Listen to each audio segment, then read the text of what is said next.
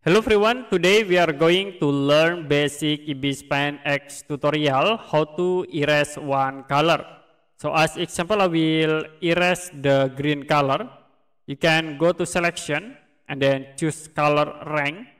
I will use the reference points. You can move into this green color.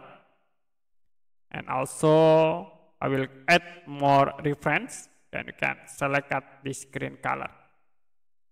After it, you can change for the color range. I will move into this point and you can click OK to apply. Now you can use the erase tools to erase the object. And if you release, to be only delete the selection area.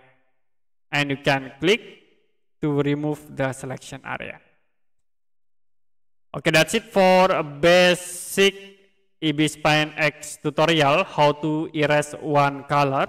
If you have any question about tutorial, you can comment below this video.